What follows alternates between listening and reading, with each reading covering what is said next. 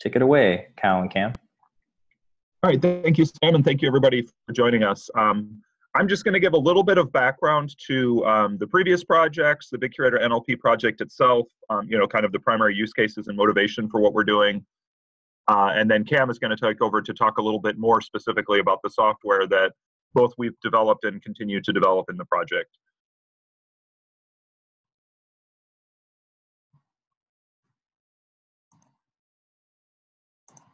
So just as a bit of background for those who aren't familiar, this grew out of the BitCurator project, which ran from uh, 2011 to 2014 in a couple phases, a partnership between SILS here at UNC and the Maryland Institute for Technology and the Humanities, also known as MITH.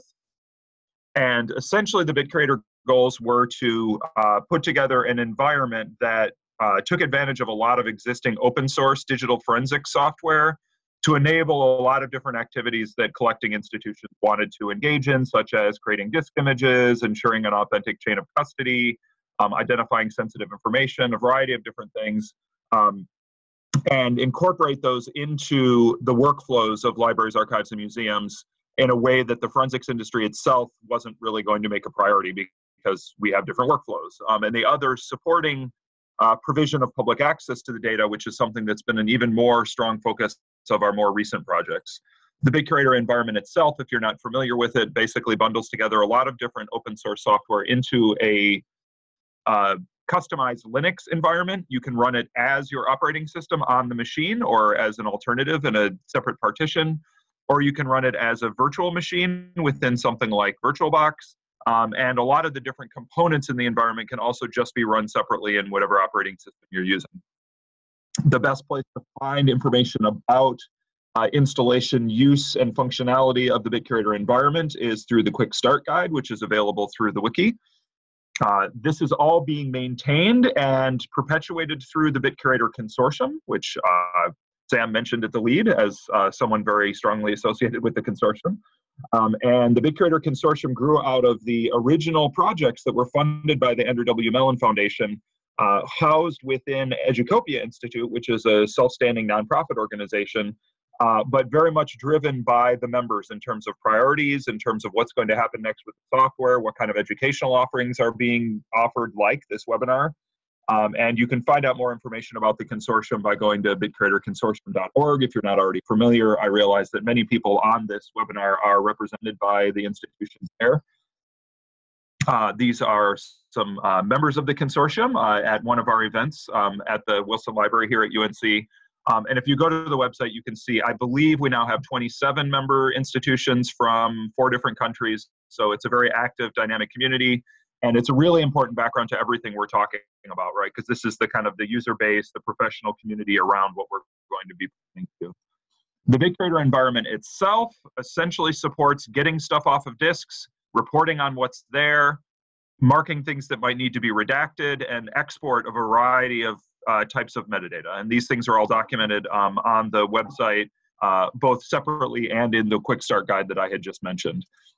So some of the functionality that people tend to uh, use pretty extensively is creation of disk images or a bit-by-bit -bit copy of precisely what's on a disk. Uh, so Guymager is one of the tools that people often use to do that. This is a graphic user interface uh, that is relatively easy to use by simply selecting the disk image, whether you want it to be broken up into different parts, what metadata you want to assign to it, and then you run the the uh, the software. One of the reasons why this is important background to what Cam is going to be talking about is that though it's not required for all of the functionality we're going to be talking about, one of the use cases that we know we need to support with both BitCurator Access and BitCurator NLP is something is sitting on a disk image. It's not just a set of files in a directory, it's disk image.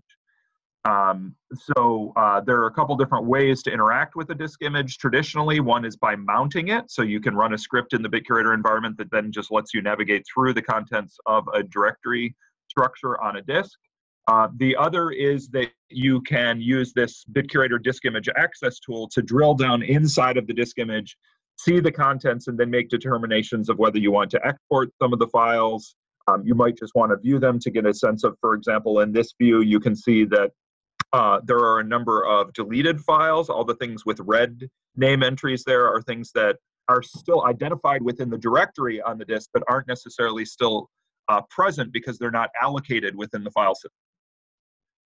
Another set of tools that people use quite extensively in the BitCurator environment are all wrapped up into Bulk Extractor. So, Bulk Extractor is a set of scanners that run uh, in parallel to find potentially sensitive information on disks. What you're seeing here is the Bulk Extractor Viewer, which is a graphic user interface that's on top of it.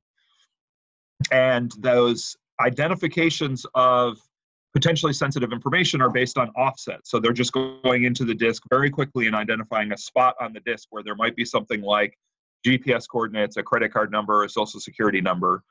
Uh, on top of that, there are a variety of tools that then pull information out of the file system. So that says what the timestamps are of the files, where they're sitting in the directory structure, generates hashes of each of the files so that you can identify them as distinct files.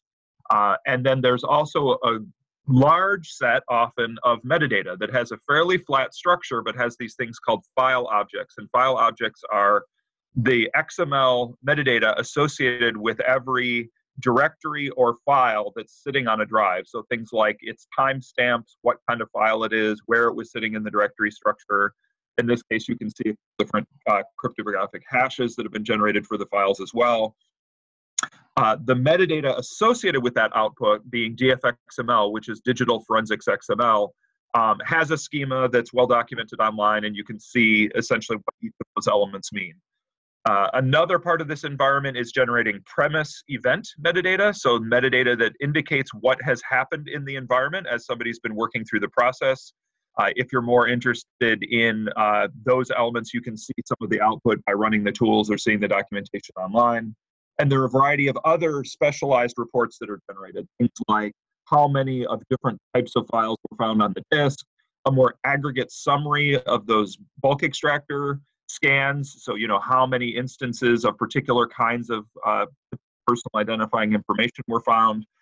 And there's just a lot of other functionality that's built into the environment that's been driven by uh, the user community who indicate, you know, we want to be able to deal with PST files because there's email in this collection. We want to be able to deal with the registry of a Windows machine so that we can identify configuration information and things like that. So essentially, when we've identified a need and can uh, then also identify open source software that's reliable and robust enough to, you know, work for people, we can then incorporate it into this open source environment.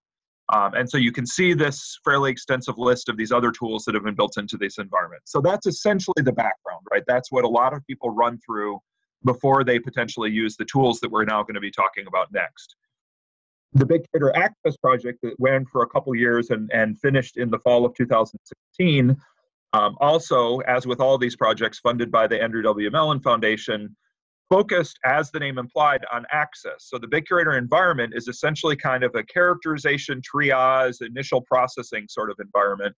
BitCurator Access has been an effort to develop software that can facilitate access to the data that then has been acquired from those media.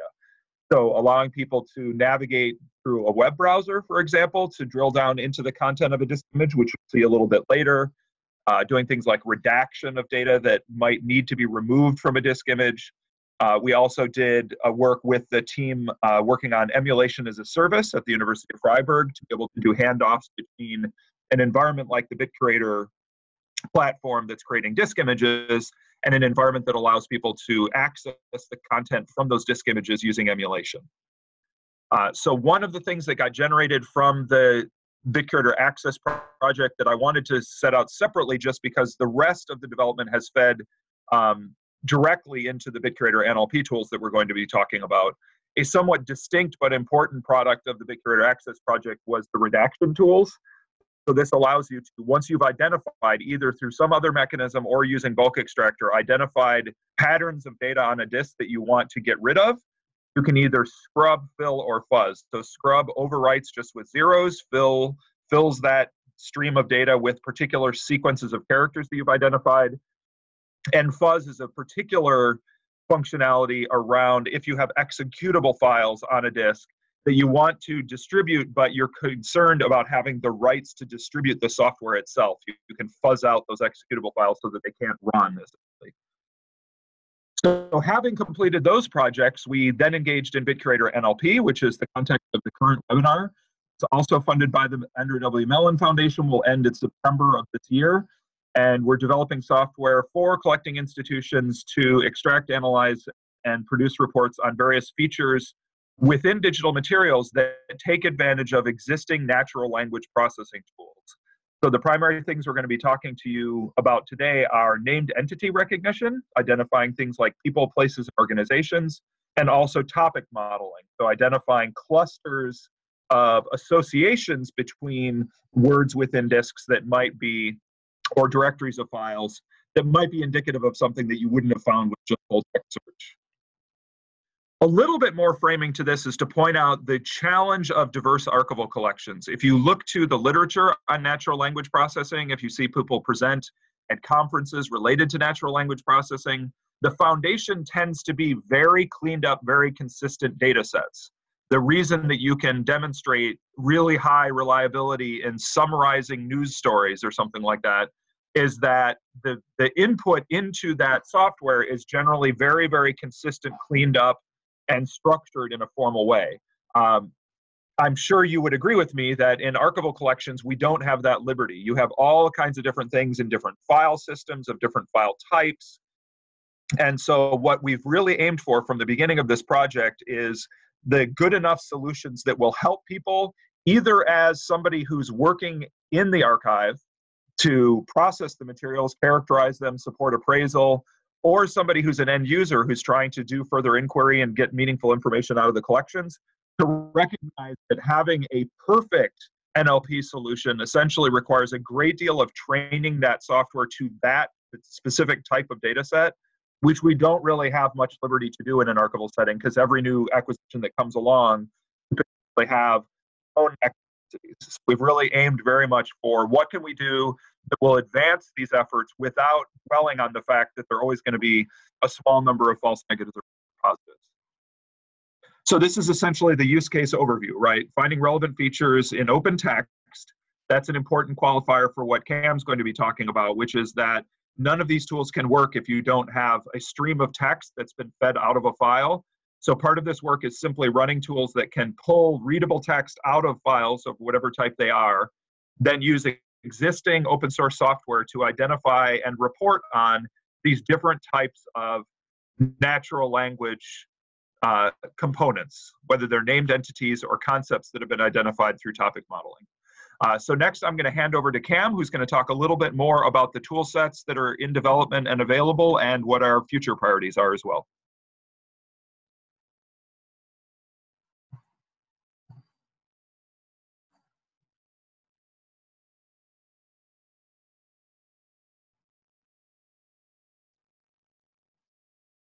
So hi everyone. Uh, give us uh, just a second to switch over screens and get our uh, audio swapped.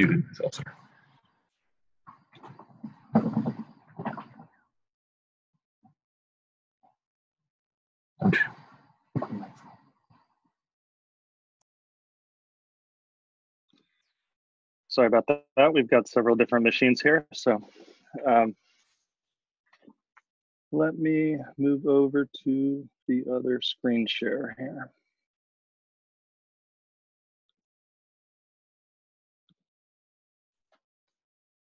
Uh, Sam, can you remove the existing screen share? Uh, I think it's up to Cal to stop sharing his screen. Okay. We'll give it just a second then.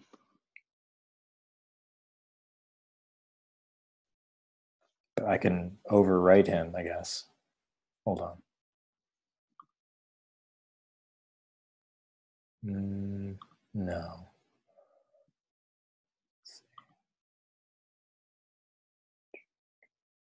Uh, give us just a second.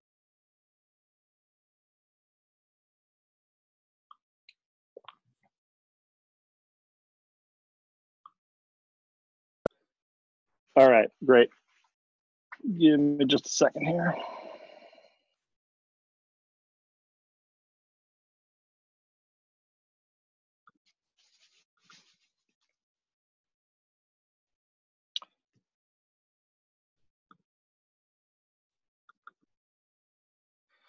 Great. So you're going to see me uh, swap between several different views on this desktop. Uh, so uh, hopefully everyone can uh, uh, see exactly what I'm sharing. Sam, if it uh, if it does seem to get out of sync, just uh, just cut in and let me know. Will do. Great.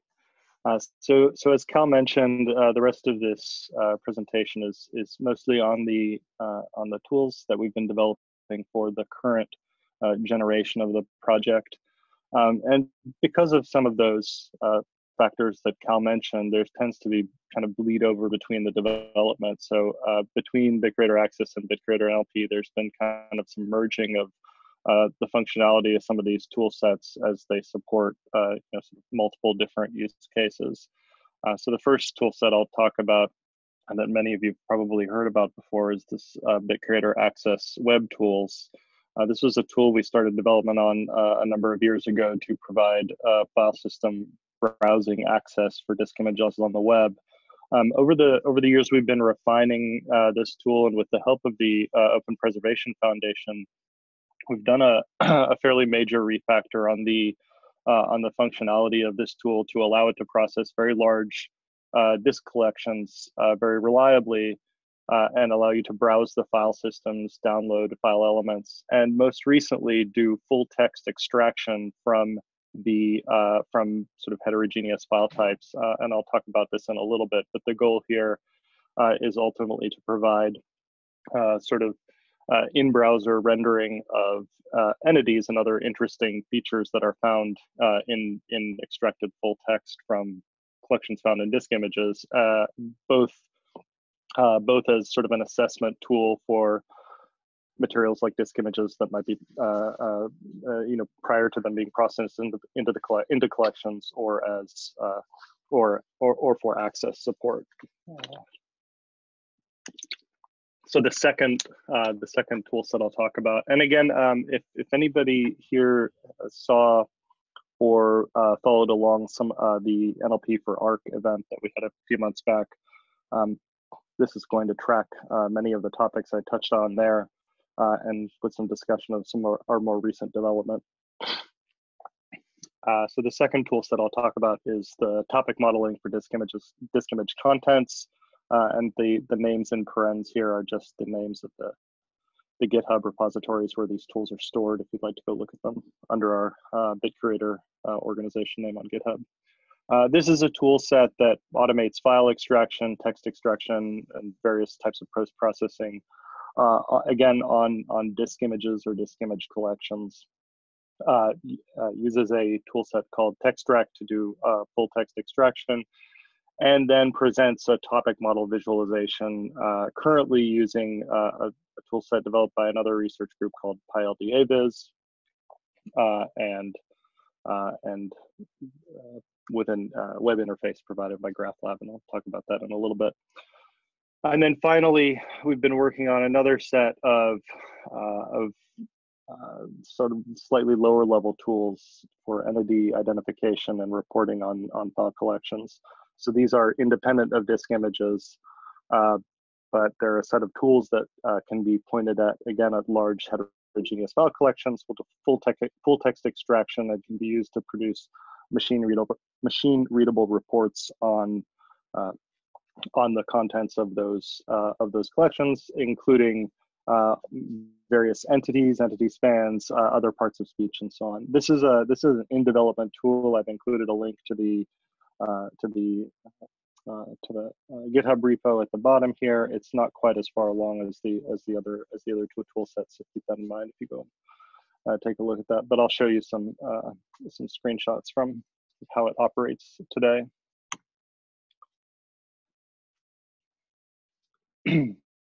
and my keyboard isn't working.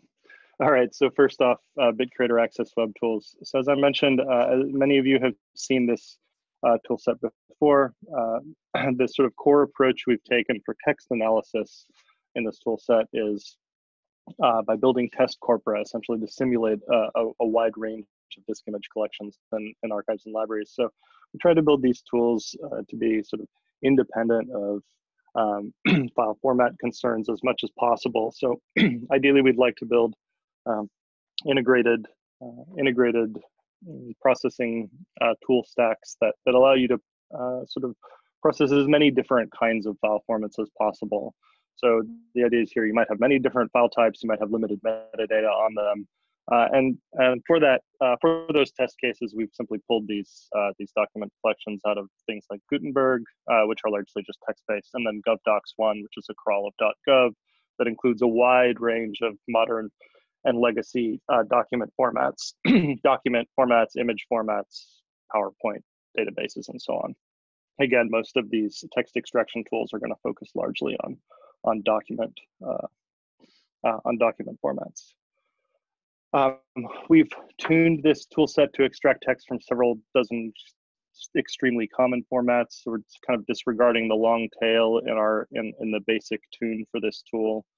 Um, there is no single tool that's appropriate for this task. We've we've you know we've looked into a, a wide range of tools, and there are some that that that work very well, uh, but have limitations when you point them at say legacy file formats and so on. So uh, we're using something called Textract. That's essentially a wrapper uh, around uh, a variety of existing uh, mature tools to do text extraction from uh, from these document types. And you can see a list of that over on the side here. You can read about that project down at the bottom. I've included the link. I'm sorry, I'm losing my voice a little bit here.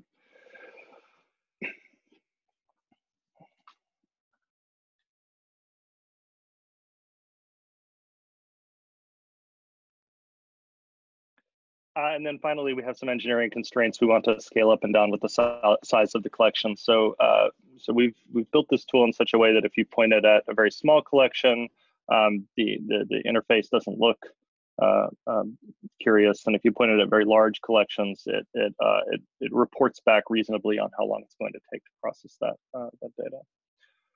Um, so the core approach in, in most of these tools is we're using spaCy uh, IO for uh, entity, entity recognition and other base, basic text analytics. Um, the reason we chose uh, spaCy is it's a it's a it's a mature uh, NLP processing tool set that's geared towards development. It's high performance, has a relatively simple API. Uh, it integrates with a variety of other machine learning platforms, and it fits nicely into our uh, into our full Python stack. So um, you know, we try to keep these uh, these tool sets as as simple as possible in terms of the build stacks. You know, the, there's a lot of complexity in in in trying to get from disk images or uh, uh, uh forensically packaged disk images, uh, you know, all the way through kind of nicely presented text uh, text output from a variety of file formats. So uh, so we have this stack that you can sort of deploy on any platform that that can that supports this Python stack, and uh, and the basic use case is just kind of text goes in or disk images go in and entity spans come out. This is what the current uh, iteration of this tool set looks like. So uh, you can actually visit this URL uh, up at the top here, dogwood.ils.unc.edu colon 8080. This is a this is a version of that tool set running in the uh, in a VM, and it's missing a few of the features that I'll, I'll talk about here, but I'll, I'll, I'll, return to that in a second. Um, so the basic interface that comes up is uh, when you when you download and set up this tool, there's a there's a uh, there are, uh, there's a configuration file that you can point at sets of uh, sets of disk images, locations of disk images, either local to your machine or in a shared drive, uh, anywhere really, and it'll uh, it'll recursively reprocess all of those uh, all of those directories to find the disk images and there's a simple metadata setup that uh, that that lets you uh, that lets you assign some um, uh, names and and descriptions to those groups. Uh, these disk images are all processed live in the inter live through the interface when you when you interact with it. So there's no pre-processing of these disk images when you click on an individual collection, it reads the contents of the metadata associated, and I'm using the word collection loosely here, small c, just a collection of disk images. Uh, it repro or it, it processes the contents of that collection, pulls out metadata associated with those disk images. When you click on an individual image, it shows you the uh, the partitions associated with that image. Drilling down into our part, partition uh, will show you a file system style hierarchical view of the contents of that file and or concept contents of that partition.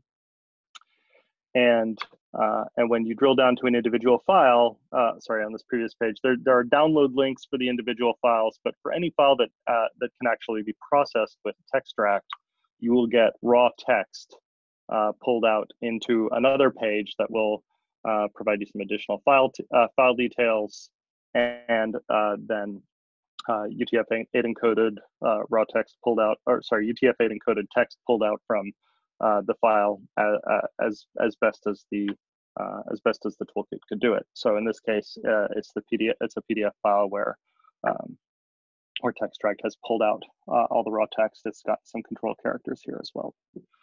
generally, it does a, a reasonable job for additional text processing. In the in upcoming versions of this tool set, we will be using uh, text or uh, sorry, we will be using uh, a plugin for spaCy that allows you to uh, generate HTML uh, tagged spans for the individual uh, the individual entities that are encountered with within this disk image. Um, we have this code uh, already in the repo. It's not turned on for the interface yet, but that'll be coming in in the next couple of months. Um, so the idea here is uh, you'll be able to click on these files, see the contents of uh, the text that's extracted, see the common entities that are identified by spaCy, and sorry, and we're not aiming for uh, we're not aiming for perfection here. So this is uh, this is essentially uh, an access and uh, and scanning tool for uh, for uh, a user, whether it's uh, someone who's coming in to access a, a collection or someone who's doing pre-processing uh, on the contents. So we'll tolerate some noise. You can see here, um, there's an organization that was incorrectly tagged. It's not an organization. Uh, and it does make some other errors like these. These models are retrainable, but the default models for both English and other common languages, you can find those on, on spaCy's site. Um, can be applied to a, a fairly wide range of, uh, of uh, genres of material. Uh, so the other, uh, the other benefit of uh, processing the information this way is that once you've identified entities within the collection like this, uh, you can be you can you can use the full text index, which um, I'm not sure if I mentioned that earlier, but uh, the uh, Access Web Tools actually generates a full text index for all of the contents that it extracts uh, automatically. Uh, when you first bring the application up, it'll just continue processing that in the background until it's done. Um, uh, so once you've once you've found a file that has a particular entity in it, if you uh, if you identify, say, someone, a person in this case, Elizabeth Scott, and you go to the search interface, in the in the actual BCA Web Tools uh, uh, application, it will pull up all of the other files within that disk image collection that uh, it has identified uh, extracted text that contains that entity in. Uh, so in this case, uh, we have just that one file. it's showing you the hash and some other metadata.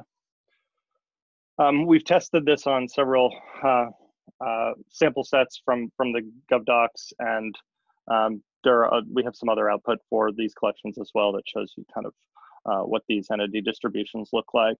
Um, again, there is some noise in these uh, in in this output, but uh, but this is not uh, this is not uh, this isn't intended to be research grade data. It's supposed to intended it's it's intended to sort of assist in the in the access on the access side of things.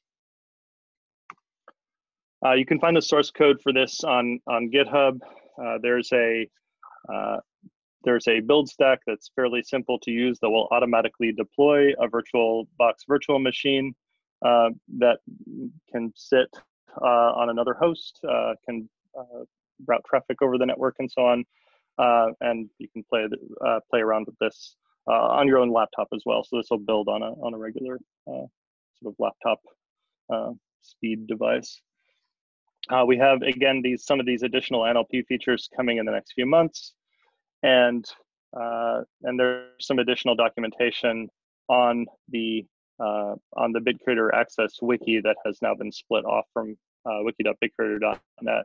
You can still get there by going to wiki.bitcurator.net. There's a link out for the uh, BitCurator Access uh, uh, dedicated wiki. Um, and again, uh, I, I do have this tool up, I believe, uh, here.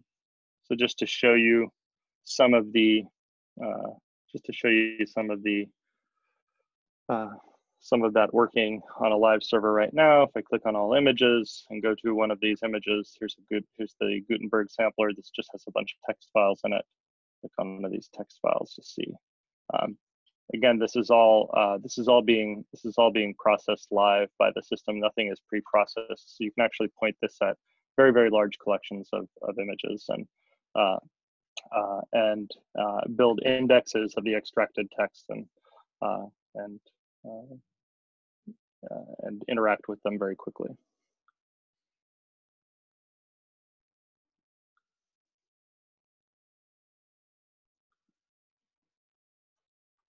Okay, the, the second tool set I'm going to talk about is uh, the our topic modeling tools. This is a uh, this is a, a new tool set that's being developed as part of this uh, part of the BitCurator NLP project. The approach for this tool set was to kind of provide a simple simplified path for useful analysis of of topic models uh, generated from disk image contents. Uh, so topic modeling tools themselves have become uh, much simpler to use. There are uh, there are a wide range of uh, relatively um, straightforward APIs in, in, in application or in sorry in tool sets like uh, uh, spaCy and Gensim and others. the the mallet toolset used by ArchExtract. but much of the sort of dirty work, the the the, the complicated work to clean up these data sets is in the pre-processing. And this is again compounded when you're working with complex digital objects. Um, so to, to build a tool set where you can feed in disk images rather than individual collections of files or uh, subsets of files when the, within those disk images requires some additional engineering effort. Um, so to encapsulate this workflow, um, we've tried to elide as much of that, the, the, those dependencies from the user as possible. So when you bring up this tool, uh, similar to BitCurator NLP, oh, sorry, similar to BitCurator Access Web Tools, you can point it at a uh, collection of, or uh, sorry, at a directory containing a set of disk images, and it will automatically uh, it will automatically extract the contents, extract the text from the individual files found within those disk images, uh, and uh, build this web front end that allows you to sort of explore both the topic distributions across those models, uh, sorry, across those disk images and across those uh, files within them. So again, the, the simple version of this is disks go in, topic topics and topic clusters come out. Um, again, we've used a Python library stack for doing this topic modeling. Um, right now, we've been using uh, a, a, toolkit called GraphLab, commercial toolkit for the uh, for machine learning. We we also have a fully open source version of this uh, GenSim that can be plugged in. But if you go uh, if you go download the the toolkit right now, you'll find that the, that the uh, GraphLab is currently turned on. Um, it does a variety of text pre-processing, so word stemming, removing stop words, and so on. Um, and uh, and it can efficiently process a large large amounts of data uh, larger than you could you could keep in main memory. So so again, this is this is a toolkit that's sort of geared towards allowing you to pro, pre, or process and visualize very large collections without without uh, requiring you to be running on really heavy duty hardware. Uh, for the front end visualization on this tool, we're using pyLDAvis, which, as I mentioned earlier, is a, a product of another research team that uh, that is it's it's uh, simply an interactive visualization tool for topic modeling. Uh, it runs uh, latent Dirichlet uh, uh, analysis over uh, the data set and invokes this uh, this PyLD uh, pyLDAvis GUI that I'll show you in a minute. Um, so the tools, the full tool stack looks like this. you treat the disk images as sets of corpora. Sorry, you treat the disk image sets as corpora. Um, you um, uh, again, there are the, the issues you can run into with these kinds of collections is that you may have limited context for, for what's inside those images, for what's inside the individual files. And the goal here is to provide uh, fast paths towards understanding what it is, uh, the, the sort of major genres or points of interest within these, uh, these collections of, of disk images might be. uh, where the, the process here kind of simplifies the extraction and analyzing of those materials. As I mentioned earlier, we automate all of the uh, text extraction from heterogeneous file types, uh, and uh, and we've relied on sort of this existing uh, robust visualization tool to uh, to uh, to display that data. We also produce the the toolkit that we generate now also produces kind of raw text reporting output that I can, can show you in a in a little bit as well. So there there are other options beyond these these interactive visualizations for working with this data. Uh, and I've, I've talked about this. Uh, I've talked about this stack again. Um, this is this is a this is a pure Python stack. Uh, again, we use textract for text extraction uh, rather than something like TCA since this is, there's no Java in this stack. Um, this is what the this is what the sort of output looks like when you actually run this against a set of disk images, and you can see a few things here. There are um, there's there's a there's a sort of dimensionally reduced map over here on the left of all of the uh, all of the sorry the the 10 most common topics or the 10 most salient topics that were uh, identified in this collection. And those clusters uh, those clusters indicate uh, topic similarity. So up here uh, the selected topic uh, number six you can see this um, the, the terms that are associated with this topic. Uh, and the, again, the, uh, the, the red bars over here on the right are sort of term frequency within the selected topic versus the overall term frequency in the, uh, in the collection. So you can get a sort of visual sense of, uh, of how likely those, uh, those terms are to reflect uh, the contents you might see elsewhere in the collection.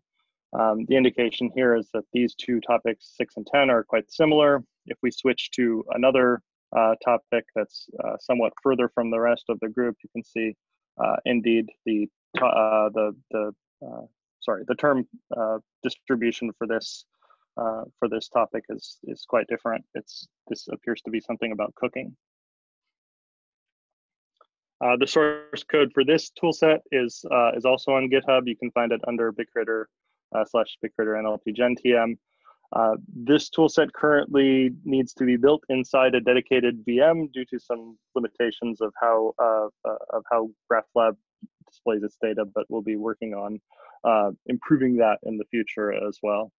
Um, and then finally, uh, we have a set of tools for entity extraction and reporting tools. This is a tool set that we started working on at the beginning of the project and uh, shifted away from for a while to to focus on our uh, to focus on our work improving uh, Access Web tools and the and the topic model generation tools. Uh, we're returning to this now and hoping to have uh, improved versions of this available over the next couple of months as well. So this is a, uh, this is a tool set that basically extracts and reports on custom entity sets from again heterogeneous document types. So uh, this does not operate on disk images. This requires you to have the disk image mounted or to just simply have a, a directory of files. Uh, this will scan through that directory of files, identify uh, file types that are uh, that are likely to be high quality candidates for automated text extraction with text to see. So again, this would be text files, PDFs, HTMLs, uh, doc files, Excel files, and so on.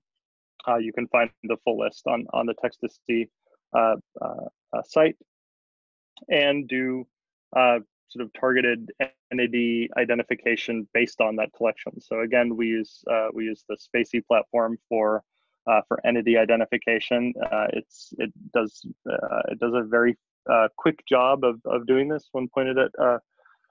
when pointed at raw text, it has a pre-trained model that's trained over tens or hundreds of thousands of, of, of disk images.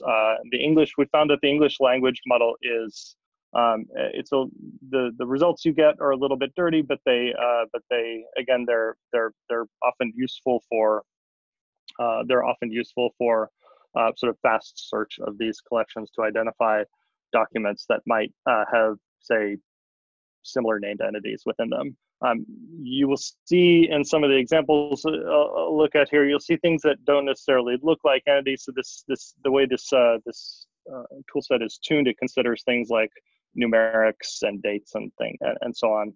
uh, entities as well. And you can you can actually find a full description of what the different entity categories for spaCy are on the spaCy site as well. We have them just all turned on here. So um, uh, again, uh, we've tried to encapsulate the workflow as uh, as much as possible here. This toolset runs completely inside a, a Conda, uh, an Anaconda virtual environment. So uh, there are instructions on the in the uh, in the GitHub that tells you how to how to set up Conda and install all of the dependent tools for this.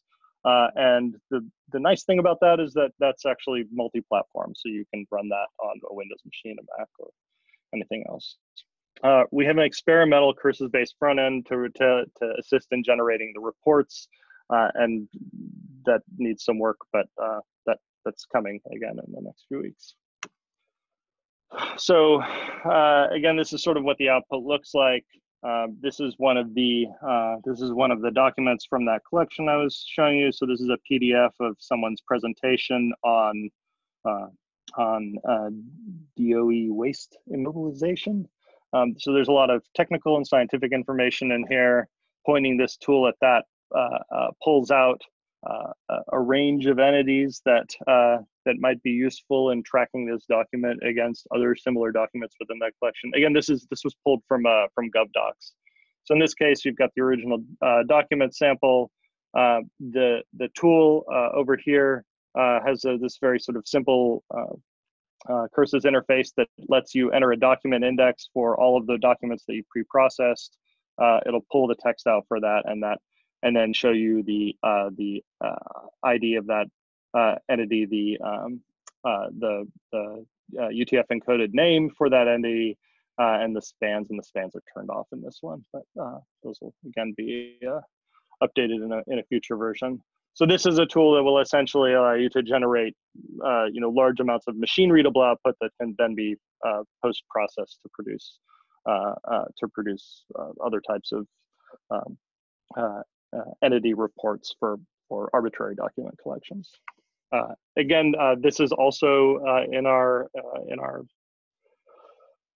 repos on GitHub. Um, that that tool set is still heavily under that last tool set I was mentioned I was showing you there is still uh, heavily in development, uh, but the other two uh, should be should be fairly stable right now.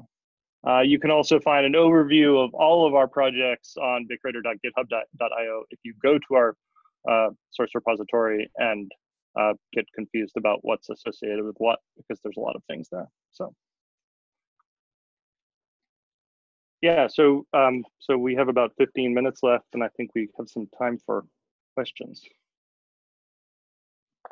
Yeah, thanks Cam and and thanks Cal for the the intro and the context. Um, having seen a lot of this stuff for the first time myself, I think I think you guys have been doing some really great work, uh, really exciting directions for exposing um, text from collections and being able to improve and and make better decisions in archival workflows. Um, yeah, just just want to throw my thoughts in there, but uh, want to open it up now for, for anyone else uh, to ask questions. Feel free to to unmute um, and or uh, throw throw a question into the chat box um, and we can uh, relay it from there. So any questions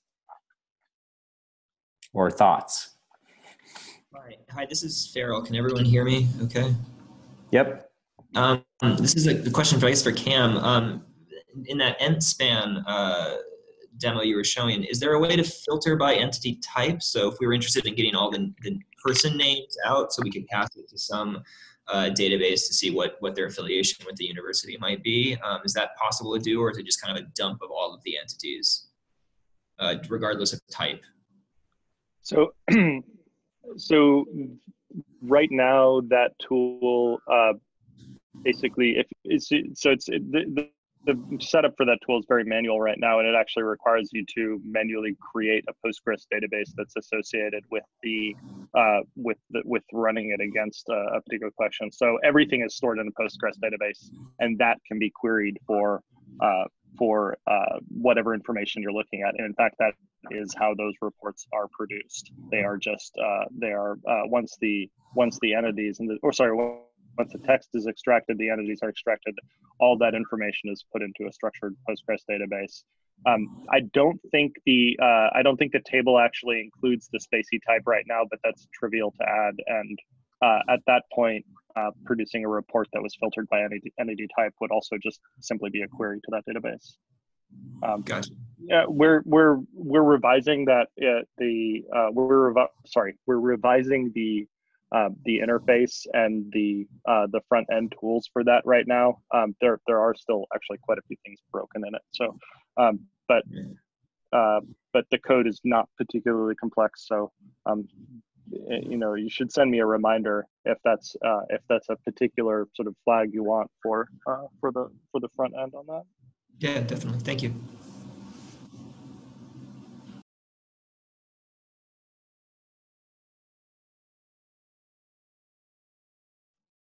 Other questions or feedback for Cal and Cam?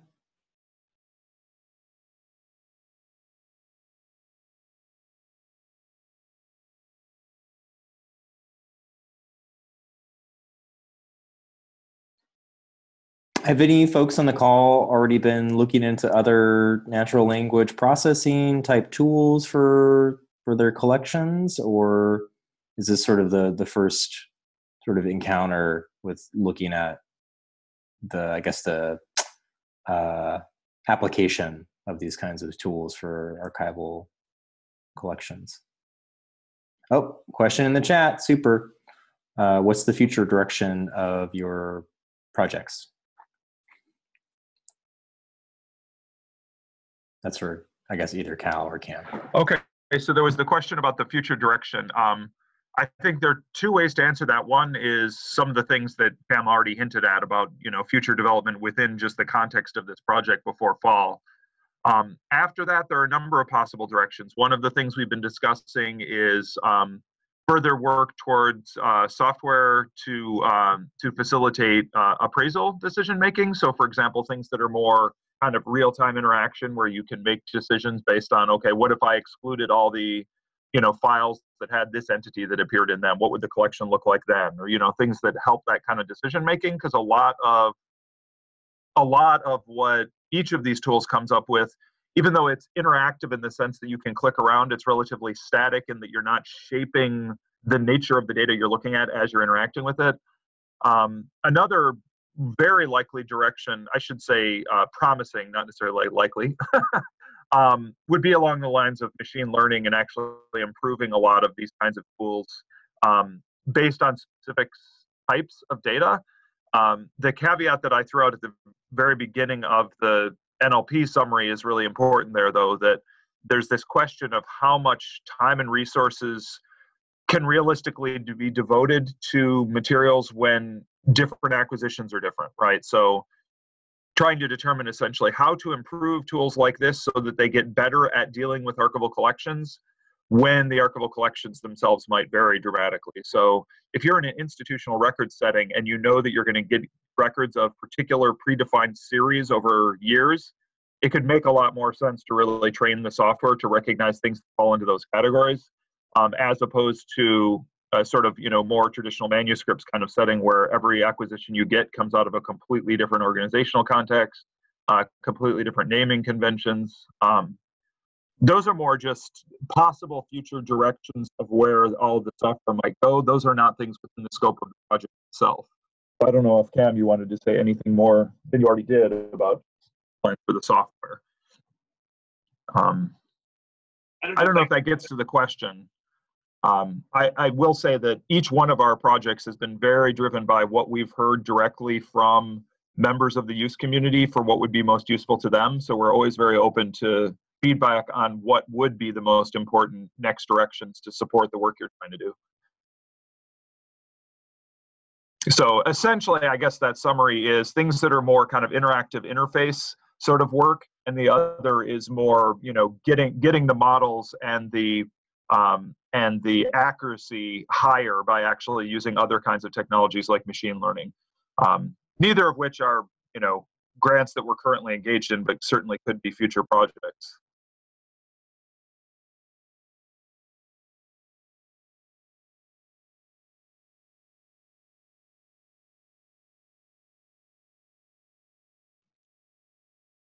Any other questions? And, and I will say also in terms of future directions is that, as I said very early on, this webinar is happening within the context of the BitCurator Consortium. Um, the work that we do at UNC is sort of the, you know, the research development arm of all of this stuff. We're not really the ones that sustain any of this. um, and so a lot of questions about the future trajectory of software itself, you know, how much it should be a priority, how much it should be um, you know, supported and related to the other um, resources that are uh, part of the consortium scope really is going to be defined by the members of the consortium itself. You know, if this this sort of trajectory is a very high interest priority of the members, that answer is going to be very different from you know if it's not and there's just more focus on the core functionality of the BitCurator environment itself. Yeah, and I'll just I'll just follow on to that to say that um, the the kinds of conversations that that go on in the the BitCurator consortium are are very much a, around you know defining needs and use cases and um, making decisions about workflows. So it's a lot of the sort of you know the high level sort of practical activities um, but that is very much the space where uh, you know software requirements uh, start to get you know sort of early stages of defining what what practitioners are really needing to do their work better uh, in the context of, of born digital materials. Um, so uh, yeah the you know it, it, the conversations go go beyond that, but it's it's really you know it's I would say one of the premier uh, communities for really engaging uh, in these kinds of in kinds of questions, um, and and then you know making the kinds of uh, uh plans and decisions for for how to pursue some kind of technological development to attempt to to solve or resolve some of some of those issues and, and needs.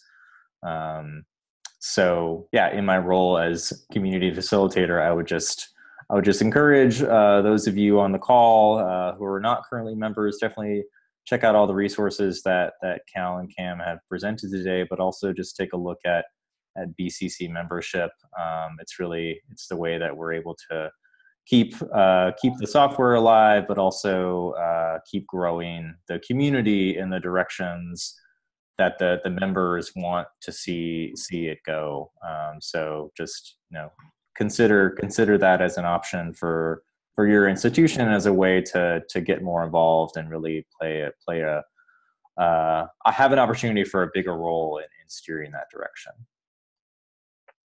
Um, so that little plug said. Um, any other questions or comments before before we close today?